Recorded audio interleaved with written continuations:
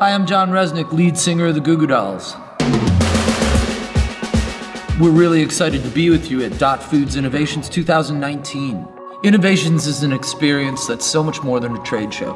Customers, operators join in, coming from all over the world, plus over 350 exhibitors, DOT employees, industry experts, and of course, the Tracy family. Grow your business while having a lot of fun doing it. We're excited to be part of this unique experience, celebrating innovation within the food industry. So be sure to slide on over to the Stifel Theater for an awesome show with us, the Goo Goo Dolls, Thursday night. It all starts here in St. Louis at Innovations.